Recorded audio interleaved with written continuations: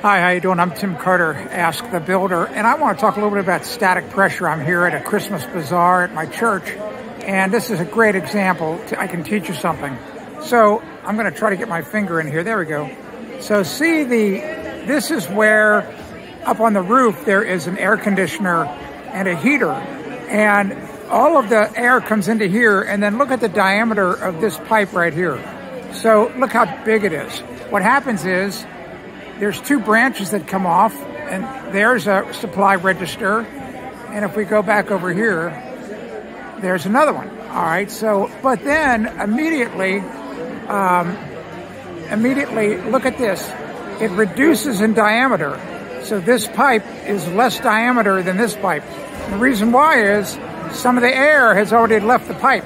So now let's follow it. So there's another branch there with two more registers.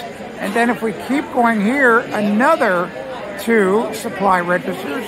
Notice here how it reduces down in diameter again, and then it runs down here to the last two supplies.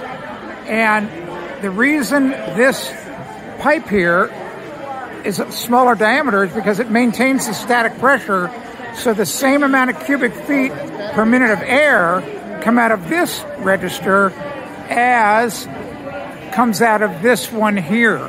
So that's your lesson about static pressure and why it's so important in your own home for your main trunk line. It's got to keep reducing in size as it gets all the way to the end of the run.